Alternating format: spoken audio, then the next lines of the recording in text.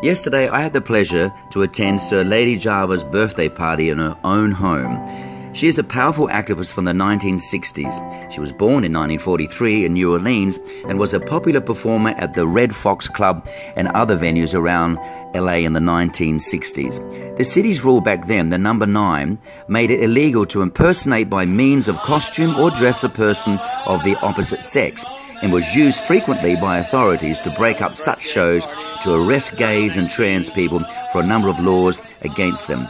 So, Lady Java, thank goodness for you. She took the number nine to the courts and brought the LGBT community together through public rallies and protests and upturned this rule. And today, because of this and because of her, I can do what I do and also such shows as RuPaul's Drag Race. So thank goodness for Sir Lady Java. Happy birthday.